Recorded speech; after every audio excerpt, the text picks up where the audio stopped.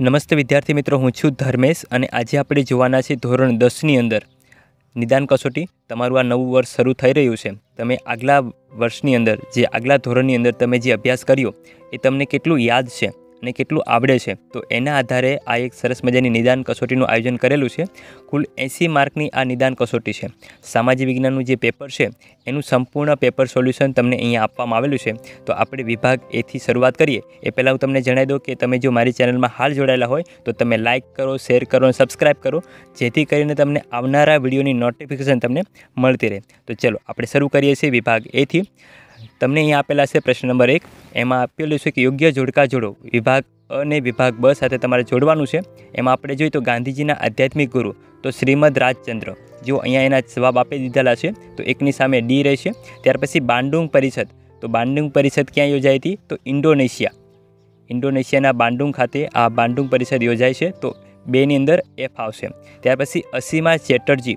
અસીમા જે ચેટર્જી છે એ રસાયણશાસ્ત્ર સાથે જોડાયેલા છે. એટલે ત્રણની અંદર એ આવશે. ત્યાર પછી વિશ્વ પર્યાવરણ દિવસ. તો ચારની અંદર શું આવશે? ઈ પાંચ જૂન. જો અહીંયા એકવીસ જૂન નહીં આવે, કેમ કે એકવીસ જૂન છે, એ વિશ્વ યોગ દિવસ છે. એટલે એકવીસ જૂન નહીં આવે, પાંચ જૂન એની અંદર આવશે. ચલો, ત્યાર પછી આપણે આગળ ચાલીએ છીએ. નીચેના વિધાનો ખરા છે કે ખોટા તે જણાવો. પહેલું જે છે, હિન્દ છોડોની લડત સમયે ગાંધીજીએ પ્રજાને સૂત્ર આપ્યું, કરેંગે યા મરેંગે? તો આ વિધાન સાચું રહેશે. ત્યાર પછી લોકસભા એ કાયમી ગૃહ છે. તો આ વિધાન ખોટું છે. કેમ ખોટું છે? કારણ કે રાજ્યસભા છે એ કાયમી ગૃહ છે. આગળ જોઈએ તો ભારતમાં વર્ષા ઋતુનો પ્રારંભ સામાન્ય રીતે કેરળથી થાય છે. તો સાચી વાત છે, દક્ષિણ ભારતની અંદર જે કેરળ આવેલું છે, ત્યાંથી વર્ષા ઋતુ એટલે ચોમાસાની શરૂઆત થાય છે. ત્યાર પછી આપણે એક બે વાક્યોમાં જે જવાબ આપવાના છે, એને આપણે જોઈ લઈએ. ઈસવીસન અઢારસો સત્તાવનના સંગ્રામનું તાત્કાલિક કારણ કયું હતું? તો ઈસવીસન અઢારસો સત્તાવનના સંગ્રામનું તાત્કાલિક કારણ એનફિલ્ડ રાઇફલ. જો અહીંયા ખાસ ધ્યાન રાખજો, એનફિલ્ડ રાઇફલ હતી, એ લશ્કરમાં દાખલ કરવામાં આવી. તો આ નીતિથી એ જવાબદાર આપણને ગણવામાં આવે છે. ત્યાર પછી જોઈએ તો આરજી હુકુમતની સ્થાપના કોણે કરી હતી? તો મુંબઈમાં જૂનાગઢના નાગરિકોને ભારતીય સંઘમાં જોડાવા માટે આરજી હુકુમતની સ્થાપના કરવામાં આવી હતી. અમે વિદ્યાર્થી મિત્રો અહીંયા ખાસ ભૂલ ન કરતા. આરજી હુકુમતની સ્થાપના જૂનાગઢમાં નહોતી થઈ. એ ક્યાં થઈ હતી? મુંબઈમાં થઈ હતી. અહીંયા ઘણા બધા ભૂલ કરશે, પણ તમારા ભૂલ કરવાની નથી. ત્યાર પછી આગળનો આપણે પ્રશ્ન ત્રણ જોઈએ. તમિલનાડુનો મુખ્ય તહેવાર કયો છે? તો પોંગલ એ તમિલનાડુનો મુખ્ય તહેવાર છે. ત્યાર પછી આપણે આગળ ચાલીએ. પ્રશ્ન નંબર ચાર તરફ, નીચે આપેલા વિકલ્પોમાંથી યોગ્ય વિકલ્પ પસંદ કરીને ખાલી જગ્યા પૂરો. તો પહેલું છે ક્યુબાની નાકાબંધી ખાલી ગયા દેશે કરી. તો એમાં અમેરિકા આવશે. એમાં સોવિયત યુનિયન ન લખતા કારણ કે સોવિયત યુનિયન છે પછી બચાવવા માટે આવ્યું હતું. એટલે સૌપ્રથમ એ અમેરિકા આવશે એની અંદર જવાબ. ત્યાર પછી હોદ્દાની રૂએ રાજ્યસભાના ચેરમેન, જેને આપણે અધ્યક્ષ કહીએ છીએ, એ ખાલી જગ્યાઓ છે. તો કોણ હોય છે? ઉપરાષ્ટ્ર પ્રમુખ ઉપરાષ્ટ્ર પ્રમુખ અથવા જેને આપણે કહીએ છીએ ઉપરાષ્ટ્રપતિ. એ એમની સીટ એ નક્કી હોય છે. ત્યાર પછી જોઈએ, કર્કવૃત પર સૂર્યના કિરણો સીધા પડે ત્યારે ભારતમાં ખાલી જગ્યા ઋતુ અનુભવાય છે. તો ઉષ્ણ ઋતુ, જેને આપણે ઉનાળો કહીએ છીએ, તે. ત્યાર પછી આગળ ચાલીએ આપણે ત્યાર પછી પ્રશ્ન ચાર જોઈએ. હિન્દુસ્તાનના વિભાજન સમયે ભારતમાં કયા અંગ્રેજ ગવર્નર જનરલ હતા? તો માઉન્ટ બેટન એ ગવર્નર જનરલ હતા. શું પ્રશ્ન જોઈએ? મફત કાનૂની સત્તા સેવા મંડળની કચેરીનું વડુ મથક ક્યાં આવેલું છે? તો અમદાવાદની અંદર એનું વડું મથક આવેલું છે. ત્યાર પછી છઠ્ઠો પ્રશ્ન પ્રશ્ન જોઈએ. મોટે ભાગે લોકો પૂરની ઘટનાને શેની સાથે જોડે છે? તો એનો સાચો જવાબ આવશે નદી. નદી સાથે એને જોડવામાં આવે છે. ત્યાર પછી આપણે આગળ ચાલીએ. વિભાગ બી તરફ. વિભાગ બી છે દરેકના બે ગુણ રહેશે. બરાબર છે? આપણે એ પ્રશ્નોને જોઈએ તો સૌપ્રથમ પ્રશ્ન પાંચ જોઈએ આપણે. અસહકારનું આંદોલન શા માટે માફુક રાખવામાં આવ્યું છે? તો અહીંયા તમને એનો વિસ્તૃત જવાબ તમને આપી દીધેલો છે. ગાંધીજી જે છે, એમણે આ અસહકારનું આંદોલન શરૂ કર્યું હતું ઓગણીસો બાવીસની અંદર. ઓગણીસો વીસથી લઈને બાવીસ સુધીના સમયગાળામાં શરૂ કર્યું હતું. પરંતુ ગાંધીજી એક એવું વિચારતા હતા કે આ અહિંસક લડત ચાલવી જોઈએ? પરંતુ આ ચોરી ચોરાની અંદર એક ઘટના બની કે એના કારણથી એમને આ બધું બંધ કરી દીધું. એમણે કીધું કે આપણે આ અસહકારનું આંદોલન ચાલુ નથી રાખવું, કારણ કે એકવીસ પોલીસોને એમને જીવતા સળગાવી દીધા હતા. તો આ સંપૂર્ણ ઘટના તમારે અહીંયા જે દર્શાવી છે, એ આખી ઘટના એમાં લખવાની રહેશે. ત્યાર પછી આપણે વ્યક્તિઓનો ટૂંકમાં પરિચય જોઈએ. તો સૌપ્રથમ છે અરવિંદ ઘોષ અને ત્યાર પછી છે મેડમ ભીખાજી કામા. તો આ બંને વિશે તમારે ટૂંકમાં માહિતી આપવાની છે. વધારે વિસ્તૃત લખવાની જરૂર નથી. મોટા મોટા પ્રશ્નો લખવાની પણ એમાં જરૂર નથી. માત્ર આટલું લખશો તો પણ ચાલશે. અરવિંદ ઘોષ અને મેડમ ભીખાજી કામા છે. એની નીચે તમે જોવા મળશે મદનલાલ ઢીંગરા અને મંગલ પાંડે. આ બંને વિશે તમે એની અંદર લખી શકો છો. નેટ ઉપર સર્ચ કરીને તમે એના વિશે બીજું હોય તો પણ ચાલશે. પણ વ્યક્તિ પરિચય તમારે એમાં થોડોક લખવાનો રહેશે. ત્યાર પછી આપણે આગળ ચાલીએ. પ્રશ્ન નંબર સાત. બિનજોડાણવાદની નીતિનો અર્થ સમજાવો. બિનજોડાણવાદ એટલે એક પણ દેશ સાથે જોડાવું નહીં અને પોતાના દેશનો પોતાના રાષ્ટ્રનો સ્વતંત્ર રીતે વિકાસ કરવો. એને આપણે કહીશું બિનજોડાણવાદી નીતિ. અમે જુઓ કે અહીંયા બે દેશ, બે દેશોની અંદર આખું વિશ્વ વહેંચ્યા જાય છે. જેમ કે એક બાજુ અમેરિકા છે ને એક બાજુ રશિયા છે. આ બે મહાસત્તાઓ છે તો બે મહાસત્તાઓની અંદર બીજા વિશ્વયુદ્ધ પછી વહેંચાઈ જાય છે. પરંતુ આપણો ભારત દેશ છે એ આ એકે સાથે જોડાયો નહોતો અને પોતાના દેશનો જે વિકાસ છે એ સ્વતંત્ર રીતે કરવા માગતો હતો. તો આ રીતે તમારે એનો જે જવાબ છે, અહીંયા જો આપી દીધેલો છે સમજૂતી સાથે આપી આપ્યો છે, તો આ લખી નાખજો. સ્ટોપ કરજો. વિડીયોને સ્ટોપ કરીને પછી લખી નાખજો. બરાબર છે? હું ઝડપથી આગળ ચાલુ ત્યાર પછી આપણે આગળ ચાલીએ પ્રશ્ન નંબર આઠ તરફ. પારિભાષિક શબ્દો સમજાવો. સૌપ્રથમ છે બેવડું નાગરિકત્વ બેવડું નાગરિકત્વ એટલે કે બે પ્રકારનું નાગરિકત્વ આપણા ભારત દેશની અંદર બેવડું નાગરિકત્વ નથી. જે અમેરિકા દેશ છે, ત્યાં બેવડું નાગરિકત્વ ચાલે છે. એક જે રાજ્યની અંદર રહેશે એનું પણ અને જે દેશનું છે જે દેશમાં એ રહેશે એ દેશનું પણ. તો આવી રીતે બેવડું નાગરિકત્વ કહેવામાં આવે છે. અહીંયા એનો જવાબ આપી દીધેલો છે. ત્યાર પછી છે લોકશાહી. લોકશાહીને જેને આપણે ડેમોક્રેસી કહીએ છીએ, તો ડેમોક્રેસીના આધારથી આખી વ્યાખ્યા તમને આપી દીધેલી છે. અબ્રાહમ લિંકનની પણ વાત કરવામાં આવી છે અહીંયા. તો અહીંયા આવી રીતે તમારે લખવાનું આવશે. ત્યાર પછી આપણે આગળ ચાલીએ. સર્વોચ્ચ અદાલતના ન્યાયાધીશની લાયકાત જણાવો. સર્વોચ્ચ અદાલત, જેને આપણે સુપ્રીમ કોર્ટ કહીએ છીએ, તો એ સુપ્રીમ કોર્ટના જે ન્યાયાધીશની જે લાયકાતો છે, એ સંપૂર્ણ તમને આપેલી છે. તમે અહીંયા જોઈ શકો છો. વિડીયોને સ્ટોપ કરી દીજો. સ્ટોપ કરીને વાંચી લેજો. અથવા તો લખવું હોય તો લખી પણ લેજો. ચલો, આપણે આગળ ચાલીએ છીએ ફટાફટ ઝડપથી. આપણી પાસે વધારે સમય નથી. તો સમયને અનુસંધાનમાં આપણે આગળ ચાલીશું. તમે વિડીયોને સ્ટોપ કરીને લખી લેજો. આગળ આપણે ચાલીએ તો વિધાન સમજાવો ભારત બિનસાંપ્રદાયિક રાજ્ય છે. બિનસાંપ્રદાયિક અથવા તો ધર્મનિરપેક્ષ. એવો પણ શબ્દ આવે. તો તમારે એની જગ્યા પર આવી રીતે વસ્તુ લખવાની કે કોઈપણ વ્યક્તિ કોઈપણ ધર્મ પાળી શકે છે કોઈપણ પ્રકારનો ભેદભાવ રાખ્યા વગર ધર્મનો પ્રચાર પ્રસાર પણ એ લોકો કરી શકે છે. તો અહીંયા તમે જુઓ, પહેલેથી લઈને છેલ્લે સુધી એની વાત આપણે કરી છે. સર્વધર્મ સર્વધર્મ સંભાવની વાત પણ અહીંયા કરવામાં આવેલી છે. તો આવી રીતે તમારી અંદર લખવાનું આવશે. ત્યાર પછી આપણે આગળ ચાલીએ. બાળ મજૂરી સજાપાત્ર ગુનો છે. વિધાન સમજાવો. તો આપણને ખબર છે છથી ચૌદ વર્ષની ઉંમરના બાળકોને એને આપણે કોઈપણ જગ્યા પર કામ કરવા માટે ન રાખી શકીએ. જો એ એને કામ કરવા માટે રાખીએ, તો એક પ્રકારનો એક ગુનો બનશે. બરાબર છે? તો એ ખાસ તમારે ધ્યાન રાખીને આ લખવાનું આવશે. ત્યાર પછી જોઈએ આપણે પ્રશ્ન નંબર બાર, મુદ્દાવણીય પ્લેટો કેટલી છે અને કઈ કઈ છે તે જણાવો. તો માત્ર તમારે કેટલી છે અને કઈ કઈ કઈ છે એ તમારે લખવાની છે. જો અહીંયા કુલ સાત પ્લેટો આપી છે. અને સાથે સાત પ્લેટોના નામ પણ આપી દીધેલા છે. એટલે તમારે જોઈ જોઈને લખવાના રહેશે. ચલો, ત્યાર પછી આપણે આગળ ચાલીએ છીએ. ધ્યાન આપજો. નીચેના ભૌગોલિક સ્થળોની ઓળખ આપો. એમાં સૌપ્રથમ છે કર્કવૃત. તો કર્કવૃત કોને કહેવાય? અને દ્વિકલ્પ કોને કહેવાય? એ તમને આપી દીધેલું છે કે વિષુવવૃત્તથી ત્રેવીસ અંશથી ત્રીસને અંતરે ઉત્તરમાં આવેલા અક્ષાંશ વૃત્તને કર્કવૃત કહે છે. જે આડી રેખા છે એને આપણે અક્ષાંશ કહીએ છીએ અને ઊભી રેખા છે એને આપણે રેખાંશ કહીએ છીએ. પણ જે કર્કવૃત છે શું છે? એ આડું છે એટલે એને આપણે અક્ષાંશ કહીશું. તો ત્રેવીસ અંશ ત્રીસના જે ખૂણે પર આપણને જે જોવા મળે છે એને આપણે અક્ષાંશ વૃત્તને કર્કવૃત્ત કહીએ છીએ. દ્વિકલ્પ એટલે શું? કે જેની ત્રણેય બાજુ સમુદ્ર કે પાણીનો વિશાળ હોય, એવા ભૂખંડને દ્વિકલ્પ પ્રદેશ આપણે એને કહીએ છીએ. તો આવડતે એના ઉદાહરણ સાથે તમે લખવું હોય તો લખી શકશો. ચલો, ત્યાર પછી આપણે પ્રશ્ન નંબર ચૌદ જોઈએ છે. જંગલ વિનાશના કારણો જણાવો. તો જંગલનો વિનાશ કેવી રીતે થાય છે? એના વિનાશના કયા કયા કારણો હોઈ શકે છે? તો આ બધા કારણો અહીંયા ઉપરથી નીચે સુધી તમને આપી દીધેલા છે. જો દેશનો વસ્તી વધારો છે, ઉદ્યોગોને શહેરોના રહેણાંક વિસ્તારથી દૂર લઈ જવાની નીતિ છે, શહેરીકરણ અને ઉદ્યોગીકરણ છે, નવી વસાહતો છે, રહેઠાણોનું સ્થાપન છે, આ બધા એના કારણો અલગ અલગ તમને અહીંયા જોવા મળશે. તમારે જેટલા પણ લખવા હોય, આ પ્રશ્નને ખાસ ધ્યાનમાં રાખવાનો છે, પ્રશ્ન કેટલા માર્કનો છે અને એના અનુસંધાનમાં તમારે એનો આખો જવાબ લખી દેવાનો છે. ચલો, આપણે આગળ ચાલીએ છીએ. તમે વિડીયોને સ્ટોપ કરી દીજો અને પછી લખી લેજો અથવા તો વાંચી લેજો. ત્યાર પછી આપણે જે જોવાના છે વિભાગ સી વિભાગ સીમાં આપણે જોવા જઈએ તો દરેકનો ત્રણ ગુણ રહેશે. એમાં સૌપ્રથમ છે જલિયાવાલા બાગનો હત્યાકાંડ. એના વિશે તમારે લખવાનું છે.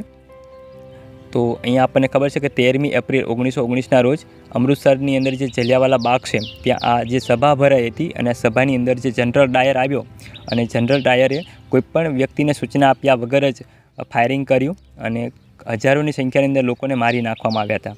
તો એ ઘટના સમગ્ર અહીંયા વર્ણન કરવામાં આવી છે. તમે અહીંયા જોઈ શકો છો એને. લખી લેજો. થોડી વાર રહેવા દઉં છું.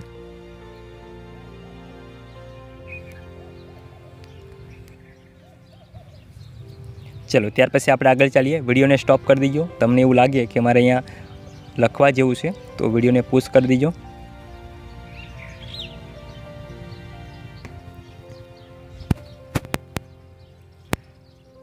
ચલો, ત્યાર પછી આપણે આગળ ચાલીએ છીએ. સંયુક્ત રાષ્ટ્રસંઘના જે હેતુઓ છે, એ અહીં તમારે લખવા માટે કીધેલું છે.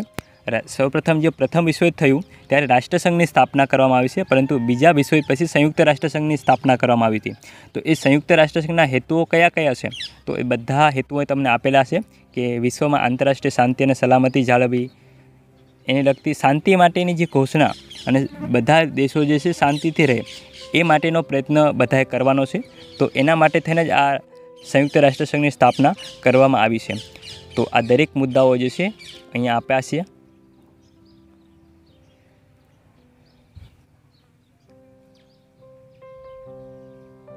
ચલો, ત્યાર પછી આપણે આગળ ચાલીશું. પ્રશ્ન નંબર સત્તર. હૈદરાબાદમાં શા માટે પોલીસ પગલું ભરવામાં આવ્યું? તો હૈદરાબાદનો જે નિજામ છે, એને પહેલાં સમજાવટ કરી, એની સાથે સમજાવટ કરી, પણ એમ ન માન્યો. એટલે પછી તાત્કાલિક એની સામે પોલીસ પગલું ભરવામાં આવે છે. તો એની વિસ્તૃત માહિતી તમને અહીંયા આપેલી છે.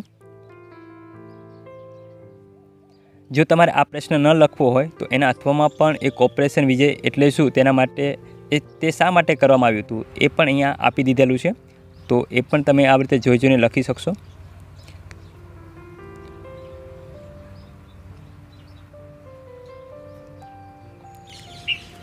ચલો, ત્યાર પછી આપણે આગળ ચાલીએ છીએ.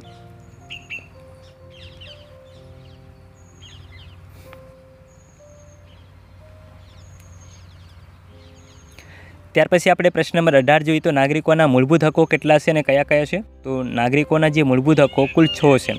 હવે મેં કોઈ કુલ અહીંયા છ હકો તમને દર્શાવ્યા છે. હવે તમારે એના વિશે વિસ્તૃત થોડુંક લખવું હોય. સમાનતાનો હક તો સમાનતાનો હક કોને કહેવાય? તો એના વિશે થોડીક માહિતી અંદર લખવી હોય તો તમે લખી શકશો, જેથી કરીને થોડોક પ્રશ્ન મોટો બને. મેં કુલ છ હક તમને અહીંયા બતાવ્યા છે. અહીંયા પ્રશ્ન પૂછેલો છે કે નાગરિકોના મૂળભૂત હકો કેટલા છે? કયા કયા છે? તો કુલ કેટલા છે? છ છે અને કયા કયા છે? આ બધા તમને અહીંયા આપી દીધેલા છે. ચલો, ત્યાર પછી આપણે આગળ ચાલીએ છીએ. ખરડો કાયદો ક્યારે બનશે તે પ્રક્રિયા વર્ણવો. ખરડો એટલે કાયદા બનતા પહેલાં જે ખરડો પસાર કરવામાં આવે છે, લોકસભાની અંદર અને લોકસભામાંથી ત્યાર પછી રાજ્યસભાની અંદર. અને ત્યાર પછી જે રાષ્ટ્રપતિની જ્યારે સિગ્નેચર થશે, ત્યારે ખરડો કાયદો બનશે. તો એની સંપૂર્ણ પ્રક્રિયા અહીંયા તમને આપી દેવામાં આવશે ખરડા કેટલા પ્રકારના હોય છે? તો બે પ્રકારના છે. તો સામાન્ય ખરડો અને નાણાકીય ખરડો. એ બધી વિશે, આના બધા વિશે તમને અહીંયા વાત કરેલી છે. જુઓ, સૌપ્રથમ તો પ્રથમ વાંચન આવશે, ત્યાર પછી બીજું વાંચન અને ત્રીજું વાંચન. આ તો ત્રણેય વાંચનમાંથી તમારે પસાર કરીને ખડો, તમારે પોતાની રીતે પસાર કરવાનો છે. જેથી તમે પસાર કરશો તો તમારા માર્કિંગ સારા આવશે. બરાબર? આ પણ ખાસ ધ્યાન રાખજો. ચલો, ત્યાર પછી આપણે આગળ ચાલીએ છીએ. પશ્ચિમ ભારતના લોકોના તહેવારો, ઉત્સવો અને મેળાઓ વિશે જણાવો. તો જે તમારો જે પાઠ છે લાસ્ટ. એની અંદર આ સરસ મજાની વાત કરી છે, પશ્ચિમ ભારતના લોકોનો જે તહેવાર છે, જે ખાસ કરીને કયા કયા રાજ્યો આવશે? જેમ કે રાજસ્થાન છે, ગુજરાત છે, મહારાષ્ટ્ર છે, મધ્યપ્રદેશ છે અને ગોવા. આ બધા પ્રદેશો આવશે, તેમજ કેન્દ્રશાસિત પ્રદેશો પણ છે, દીવ, દમણ અને દાદરા નગર હવેલી. આ કેન્દ્રશાસિત પ્રદેશોનો પણ એમાં સમાવેશ થઈ જશે. તો એમના તહેવારો અને ઉત્સવો તમને આપેલા છે. સૌપ્રથમ તહેવારો અને ઉત્સવોની વાત કરી છે. જુઓ, અહીંયાથી તમને આપી દીધેલું છે. સૌપ્રથમ તહેવારોનો ઉત્સવો જોઈ લો. પછી આપણે આગળ ચાલીએ.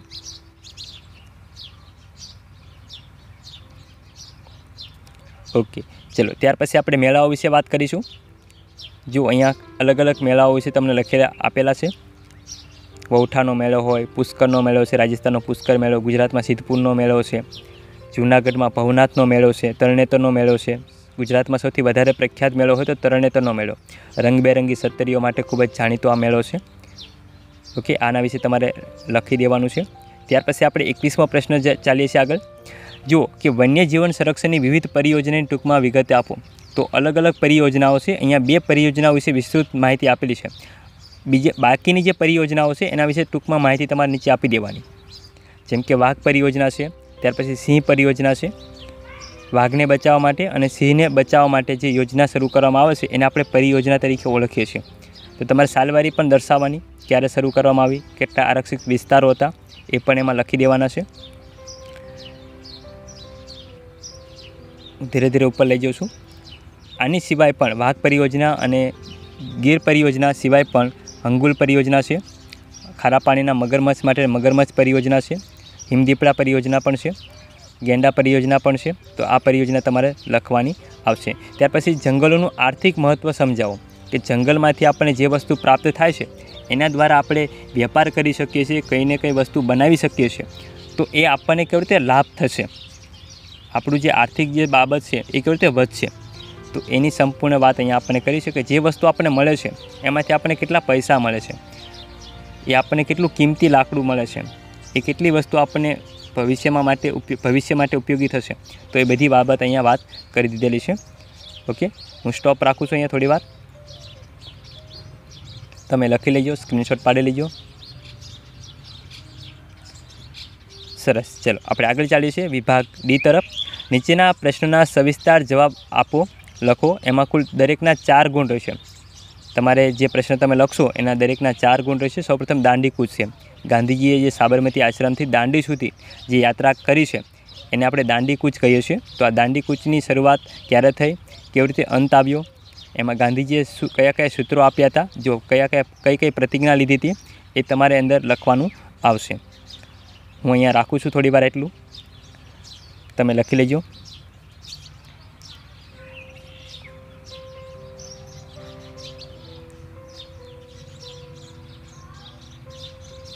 ચલો, ત્યાર પછી આપણે આગળ ચાલીએ છીએ.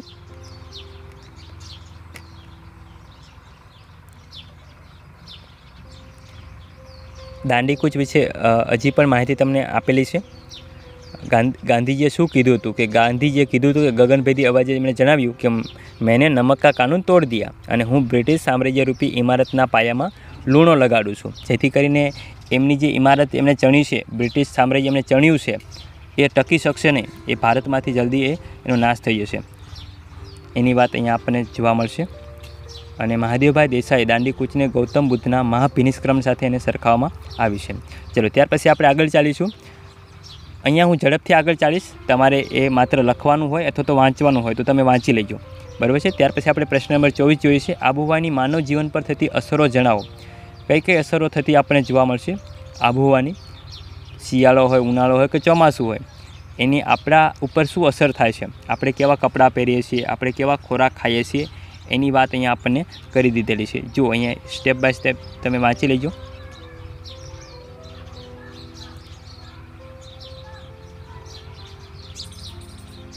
અહીંયા રાખું છું એટલી વાર. તમારે વાંચવાનું છે અથવા સ્ટોપ કરીને એને લખવું હોય તો લખી પણ શકશો. ચલો, ત્યાર પછી આપણે આગળ ચાલીએ.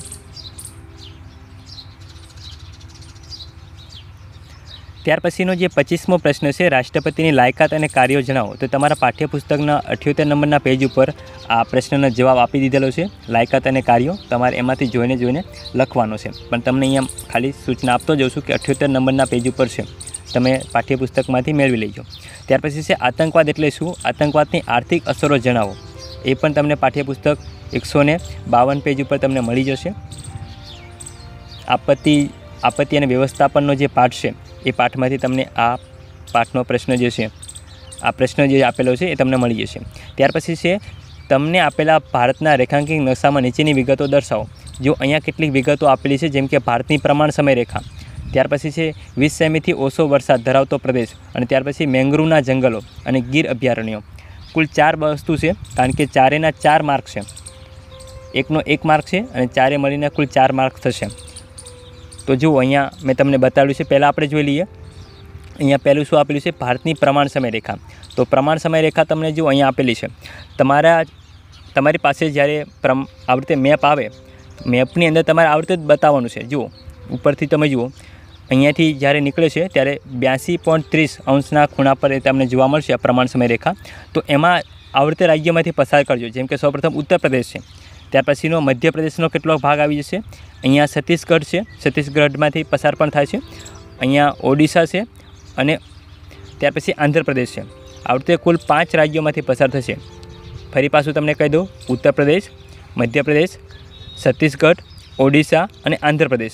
આ રીતે તમારે પસાર કરવાની છે. પેન્સિલનો ઉપયોગ કરજો. પેન્સિલનો ઉપયોગ કરીને પછી તમારે આ પસાર કરવાની છે. હું થોડુંક નાનું કરી દઉં છું. જેથી કરીને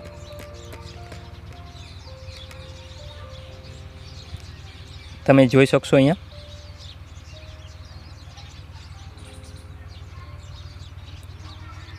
ઓકે, દેખાય છે બધાને સારી રીતે?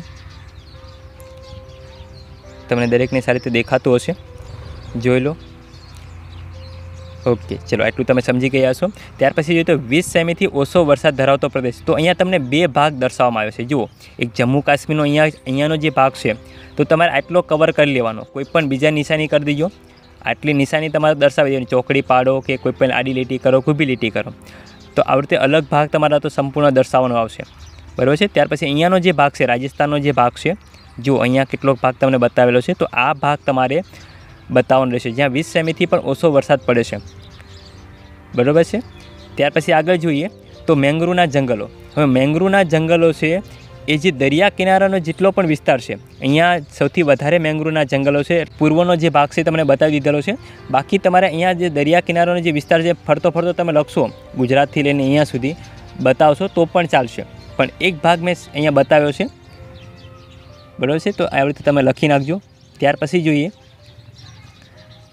ગીર અભયારણ્ય. જે આપણે ગુજરાતમાં ગીર અભયારણ્ય છે, સિંહ માટે જાણીતું છે અભયારણ્ય તો આ અભયારણ્ય તમારે આવી રીતે લખવાનું. આવશે, દર્શાવવાનું આવશે. તો અમે જે અહીંયા આપેલા છે, એ જુઓ કે અહીંયા કુલ ચાર વિગતો તમને દર્શાવી છે.